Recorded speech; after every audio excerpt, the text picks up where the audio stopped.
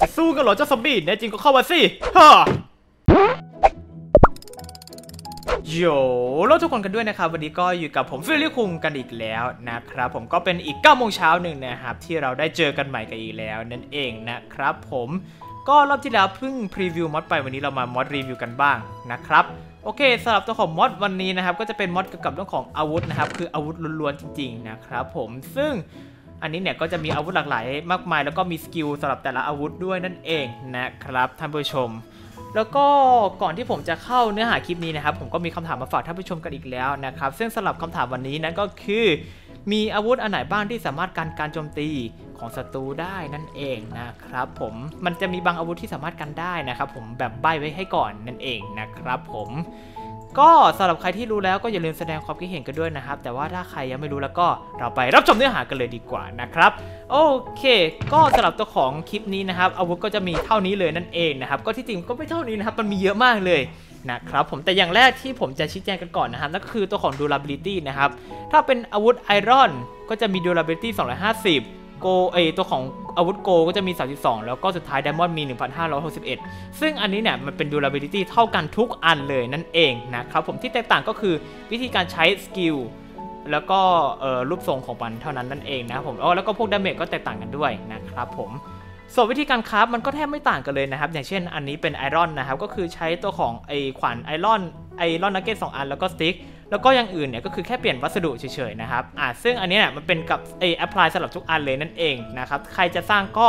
จำวิธีการ craft ไม่ยากนั่นเองนะครับ แต่ถ้าจำไม่ได้ก็แนะนำว่าโหลดตัวของบอท JEI ไว้ดูด้วยนั่นเองนะครับ แล้วก็มันจะมีในเรื่องของ skill ด้วยนะครับ ก็คือ skill พวกนี้เนี่ยอะเห็นไหมครับ อย่างอันนี้สิอันนี้มี right click to block นะครับ ก็คือกดที่ขวาแล้วมันจะบล็อกให้นะครับสอันนี้ไม่มี skill แล้วก็ 3 อันนี้มี skill ที่แตกต่างกันไปด้วยนั่นเองนะครับท่านผู้ชม เพราะฉะนั้นเดี๋ยวตัวตัวของคลิปนี้นะครับ เพื่อเป็นการไม่เสียเวลาเยอะ ผมจะเอาเซต iron มาโชว์ให้กับท่านผู้ชมมาเล่นให้กับท่านผู้ชมได้ดูกันนั่นเองนะครับผม โอเคครับ อย่างแรกเลยนะครับ เดี๋ยวผมจะต้องวันหนึ่งฉันเดินเข้าป่ากันก่อนนะครับ โดยที่ว่าเดี๋ยวผมจะขออนุญาตเสกซอมบี้ด้วยนะครับ เพราะว่าเดี๋ยวผมจะต้องโชว์ว่าเออ มันกันแล้วมันกันได้ดีขนาดไหนนั่นเองนะครับผม เอาละครับคราวนี้มาเราอยู่ในป่าแล้วเสกซอมบี้มาสักตัวนะครับ แล้วก็ในที่สุดฝนก็ตกอีกแล้วหรอ oh my god เดี๋ยวผมขอ weather clear กันก่อนแล้วกันนะครับรีวิว mod ที่ไรฝนตกทุกทีเลยครับ ไม่เข้าใจทำไมนะครับผม โอเค game mode survival นะครับผมมาเดี๋ยวเราไปล่อล่อตีนซอมบี้กันก่อน เฮ้ย ซอมบี้ มาตีฉันสิ มาสิอ่าเนี่ยครับผมอะเมื่อมันตีเข้ามานะครับก็จะเห็นนะครับว่าตัวของผมเนี่ยมันสามารถกันได้นะครับ แล้วก็มันจะมีบางจังหวะอะอย่างเมื่อกี้กำลังจะพูดเลย มันจะมีบางจังหวะที่ซอมบี้มันสามารถตีรอดมาได้นะครับผมเพราะฉะนั้นอย่าพึ่งการบล็อกมากขนาดนั้นนะครับท่านผู้ชม ซึ่งอะไออาวุธสี่อันนี้ก็คือบล็อกได้เหมือนกันหมดเลยนะครับผมอะมันไม่มีอันไหนที่แตกต่างกันเลยนะครับผมแตกต่างที่ตรง damage นะครับท่านผู้ชมก็คือเวลาตีก็คือปกตินะครับไม่มีเอฟเฟกอะไรเลยนะครับ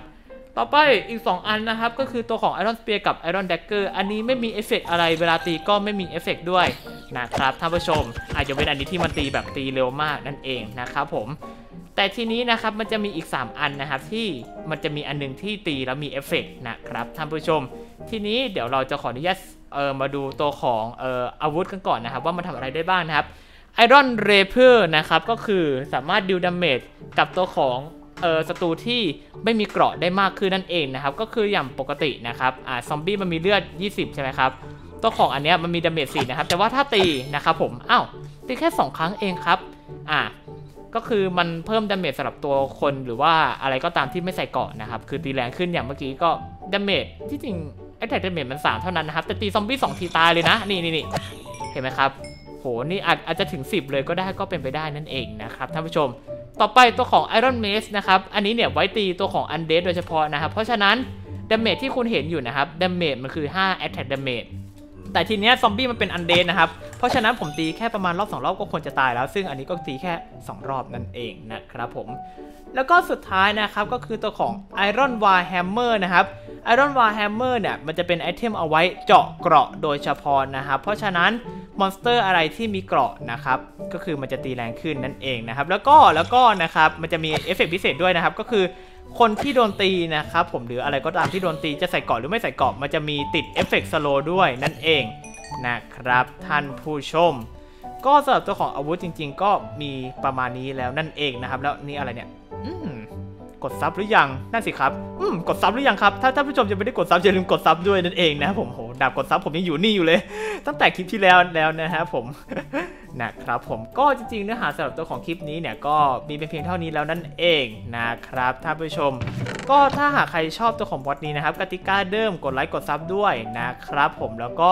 อย่าลืมแสดงความคิดเห็นกันด้วยนะครับคำถามที่ผมถามไปนะครับอย่าลืมตอบกันด้วยนะครับว่าผมถามอะไรไปนะครับท่านผู้ชม ก็สำหรับวันนี้เนี่ยผมก็คงขออำลากันเป็นเพียงเท่านี้ก่อนละกันนะครับ ท่านผู้ชม เดี๋ยวเรามาเจอกันใหม่อีกทีวันพรุ่งนี้ตอน9โมงเช้านะครับผมโอเค เดี๋ยวผมไปละ สวัสดีครับ โอ้เฮ้ยอย่าลืมกดไลค์กด subscribe แล้วก็กดกระดิ่งเพื่อให้กำลังใจให้ผมทำคลิปต่อด้วยนะครับ